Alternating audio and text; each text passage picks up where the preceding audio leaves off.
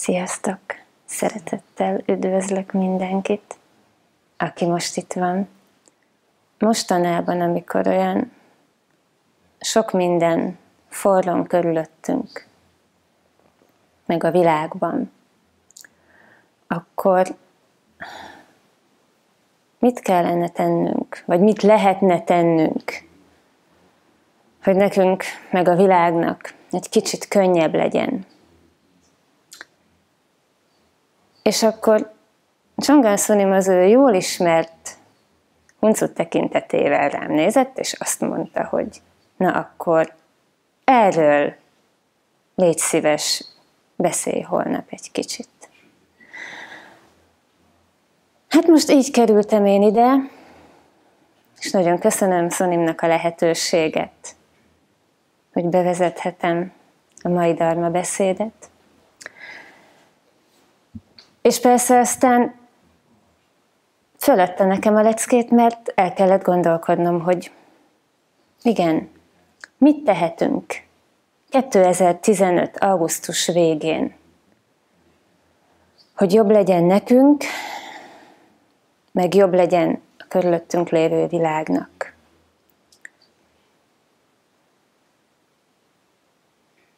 És arra jutottam,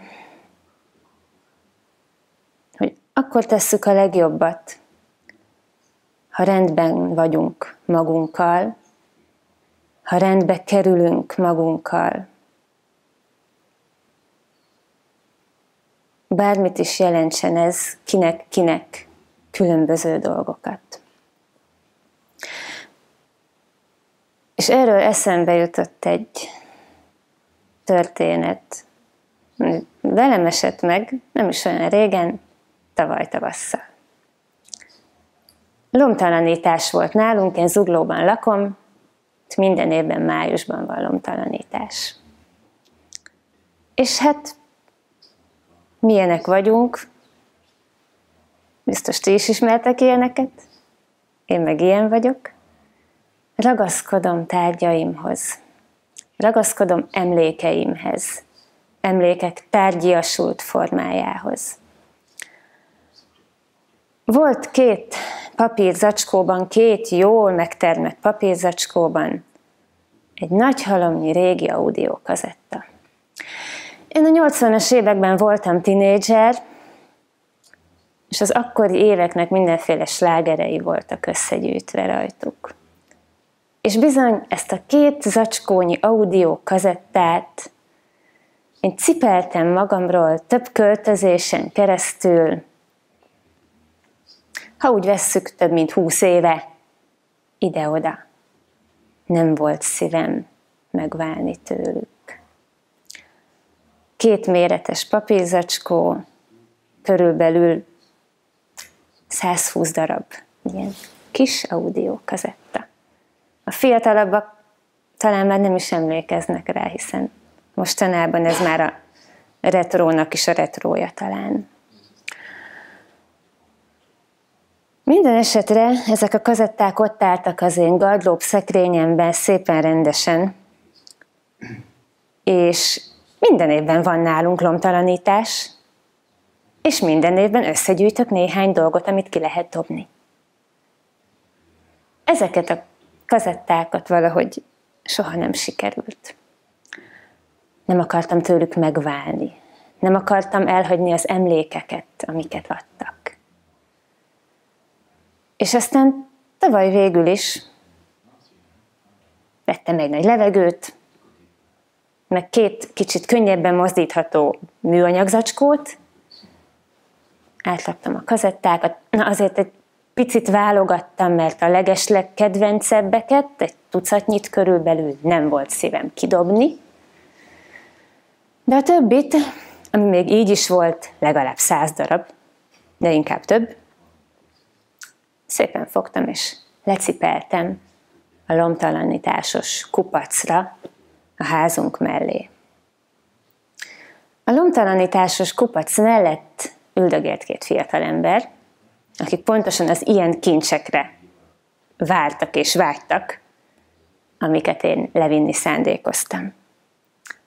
Tehát leballagtam, és letettem a két zacskót, ők pedig kincsvadászok örömével boldogan csaptak le, hogy hú, mi van benne, mi van benne. Én pedig mondtam, hogy hát audiokazetták. Nagyon fiatal, fiatal emberek voltak, olyan 20 év körüliek, sőt az egyik szerintem még tini volt. Látszott rajtuk, hogy nem nagyon tudnak mit kezdeni az audiokazetta fogalmával és látványával. A két zacskót letettem, én magam pedig sarkon fordultam, és elindultam vissza a házba. És annyit hallottam, ahogy megfordultam, hogy a két fiú hihetetlen boldogsággal fölnyalábolta a két zacskót, és így fogták, és így kiöntötték a tartalmát a járdára, a kőre. Annyit hallottam, hogy recsegve, ropogva, csörögve hullanak le az audiókazettáim a 80-as évek legnagyobb slágereivel, és ebben a pillanatban ugrott be az, hogy az, ami nekem olyan nagy értéknek számított, az csak nekem volt az nyilván. Itt van két fiatal fiú, nálam mondjuk 20-25 évvel fiatalabbak, nekik ez már semmit nem jelent. Kicsit kotoráztak közötte, aztán visszanyalábolták az acskókba, nem tudtak vele mit kezdeni. Viszont az én életemből két zacskónyi felesleges dolog eltávozott. Két zacskó, amiket éveken keresztül úgy kerülgettem, hogy soha még csak bele sem tettem az egyébként működőképes kazettás magnómba, amit most csak rádiónak használok a konyhában. Szóval soha még csak bele sem tettem őket, hogy húsz év után meghallgassam, hogy az ahának a tékon miért, tényleg milyen jó szám. De mivel fönt van a YouTube-on, már inkább ott hallgatom, ha eszembe jut. Szóval visszatérve a komoly témára, a rendre, kívül és belül. Igen, ragaszkodom a tárgyaimhoz. Ragaszkodom az emlékeimhez. És az ilyen apróságoknál derül ki, hogy apróság, mert nem volt nehéz tőle megválni. És valószínű, hogy nem is volt akkora értéke, mint amit én 20 sok éven keresztül gondoltam róla. Mert egyébként nem hiányzik. Egyáltalán nem hiányoznak ezek a kazetták.